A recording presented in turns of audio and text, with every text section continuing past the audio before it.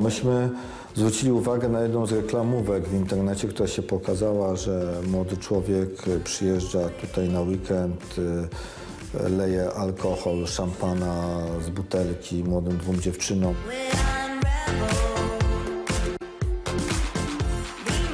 Potem idzie z nimi spać do e, lokalu, który powinien być zatoką sztuki, a nie zatoką schadzek.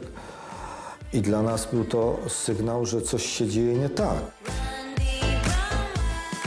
To były dwie bardzo młode dziewczyny i na pewno Zatoka Sztuki nie miała polegać na tym, żeby była domem schadzek z osobami bardzo młodymi. My cały czas działamy. Przygotowujemy e, kolejne wydarzenia kulturalne i artystyczne. Przygotowujemy się do sezonu. E, Planujemy dwie wspaniałe gwiazdy międzynarodowe, tak więc naprawdę duże uderzenie. No i działamy. Kiedy rok temu 14-letnia Anaid rzuciła się pod pociąg, nikt nie przypuszczał, że dramat ten wywoła lawinę, która wstrząśnie światem ekskluzywnych klubów. Mama dziewczynki ustaliła, że dzień przed śmiercią Anaid spotkała się z 38-letnim Krystianem W., a koleżance powiedziała przez telefon, że została zgwałcona.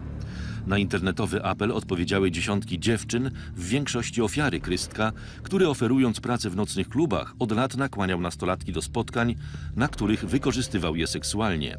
Swoje wyczyny nagrywał, by później szantażować ofiary ujawnieniem filmów.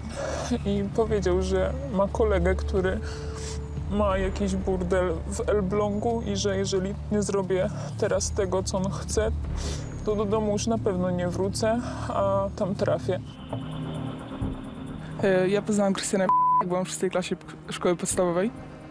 No to tak zgrywał przyjaciela bardziej. Potem, potem dopiero zaczął proponować pracę, zaczął proponować kluby. huśtawki w Dream Club. Tak, tak, dokładnie. We, we wszystkich klubach, nawet, nawet nie musiał mówić nazw, bo cały czas mnie zapraszał do Zatoki Sztuki. E, byłam z nim pod klubem Blue Velvet. Tam poznałam jeszcze jednego pana, pana Marcina. Marcina, Tak. Który właśnie pytał się Krystiana, czy już, już proponował mi pracę. Krystian powiedział, że na wszystko będzie czas. Dosłownie nie powiedział, czy proponował mi pracę, ale ja już wiedziałam o co chodzi. ile miała pani wtedy lat? 12. Treść zarzutów nie odpowiada rzeczywistym zdarzeniom. W każdym klubie w tym mieście, w każdym klubie e, nocnym w tym mieście działo się, e, działy się złe rzeczy, tak jak i działy się dobre rzeczy.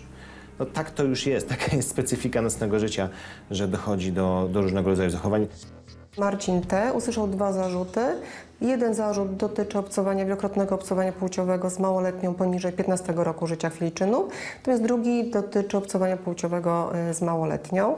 Złożył wyjaśnienie i to jest wszystko, co jeśli o te, o te, te osoby i o wyjaśnienia mogę Państwu w tej chwili y, powiedzieć.